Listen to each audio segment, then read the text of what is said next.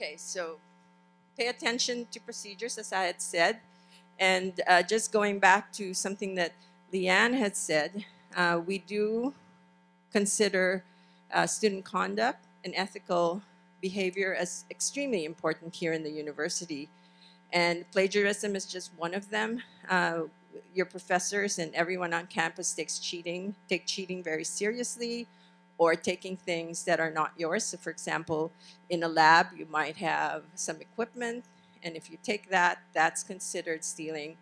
And the university does have a policy of um, sanctions, various sanctions for different uh, transgressions regarding student conduct, either cheating, plagiarism, um, stealing, and those sorts of things. Um, you could get a suspension, you could get an impact on your grades, and depending on the severity, you might even be expelled. So that could, um, the university does go ahead and uh, proceed with such actions. So just want to um, impress on everyone that it's important for you to stay honest. It's part of your um, development here in San Jose State and to avoid any plagiarism as Leanne had described and also any instances of cheating or avoid temptations or actions of cheating.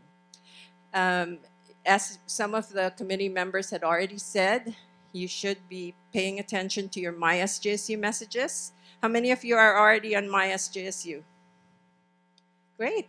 How many of you, of you are on Facebook that is specifically for your department or your friends, a community of folks who are in your major? Great. Those are also great sources for tips. But again, as the folks here in the panel have mentioned, those are idiosyncratic as well, right? So make sure you take it all with a grain of salt. But yes, those are great ways to hear about um, things that you options you have while you are here in the United States in your program here. But um, also pay attention to MySJSU because if you miss one of those, it could mean that all your classes might be dropped, say because your payment was due at a certain time. And it's very, very difficult to deal with something like that after the fact. It's better to pay attention to the messages and actually catch those things before you, you reach a deadline. You are in a large university, that means you get a lot of benefits. All the resources that were talked about already, and I will mention later, that comes from being in this large university. You also, when you're doing your work, you have the opportunity to work with folks from different disciplines because we have a good range of um, colleges here. But that also means that we are a big bureaucracy right? So we are San Jose State, but we're also part of the CSU system. That makes us a very big bureaucracy. We're 23 campuses. So that means that these messages are a key way for you to find out how not to get in trouble with this bureaucracy because it gets very difficult to deal with once you, you get an exception. So pay very close attention to MySJSU messages to avoid a lot of additional coordination and work um, in addition to what you're doing in classes. Here are some key resources. Um, the top one that many of you can benefit from is the IPS, International Programs and Scholars Group unit.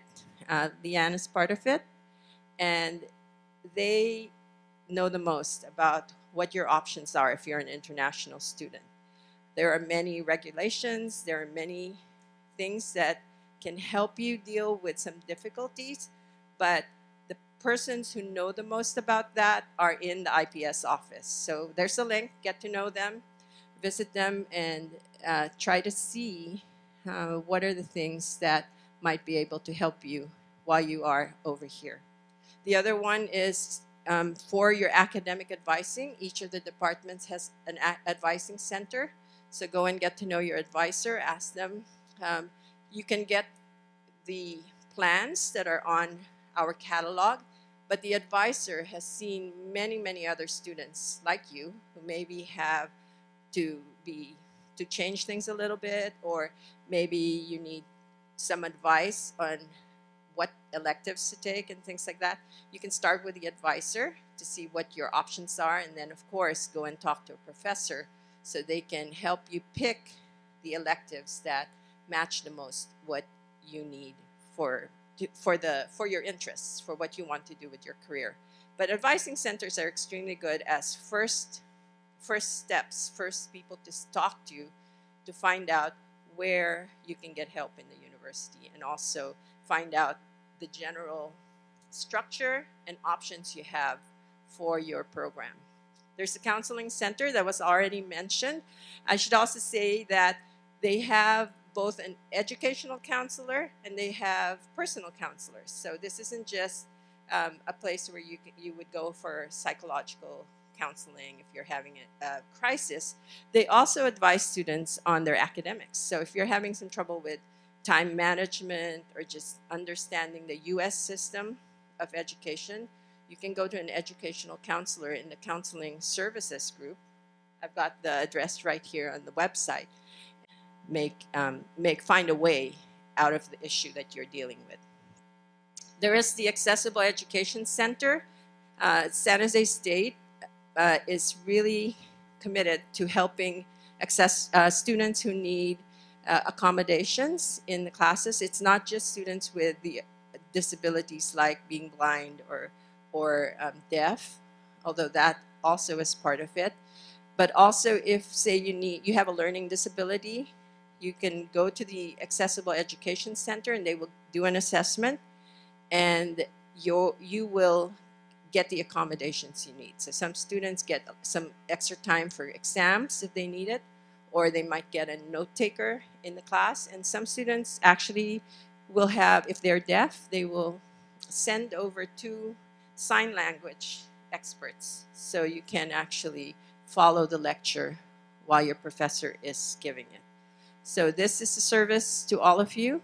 Um, and if you think you would need some of this service, go to the Accessible Education Center.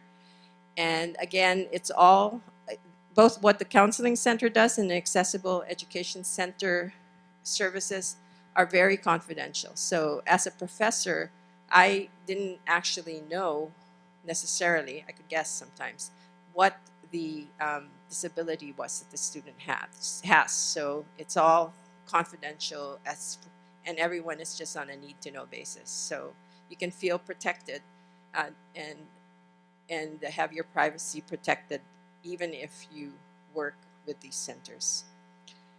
Campus life is very important. Uh, we have a lot of clubs over 300 clubs and many of them are cultural in nature. Some are sports clubs but many of them are also professional clubs. So you get a chance to network with folks in your specific industry and your specific area of interest. And also you get a chance to engage in leadership activities. So it's a good, good place to be involved as well. And lastly, there's the Spartan Success Portal where you can see pointers to many different resources to help you with success here. And maybe one of the most useful things is that there's a link there for online classes that you can use to help improve your skills for studying here. So it's a little different system here, or maybe you have text, test anxiety. They have online courses that you can take to help you build some skills to deal with these different issues. So what are smart ways to study? It's not a place where you will be memorizing. Uh, oftentimes faculty will be asking you to demonstrate your understanding, especially you're all now grad students. So it's, it's slightly different if you've never been to grad school. You do need that relationship with your professors and you need to show that you have a higher level understanding and mastery of your subjects rather than just memory, memorizing different theories. So um, keep that in mind also, as our panel has mentioned, it may be um, tempting because it's such a casual atmosphere here to feel like your faculty member, your professor is your buddy, your friend, and you know you, you do have you could have a relationship close to that, but you should always remember that that's your faculty member, that's your professor, and in the end they will give you a grade, and you can't expect the that because you're friends, you will get a passing grade. That that just puts everyone in a very uncomfortable situation. And don't expect to get a B because you need it to keep your GPA up or anything like that. You really need to do the work. So pay attention to the green sheets that you get, and that's that that's what you need to do to actually get that grade.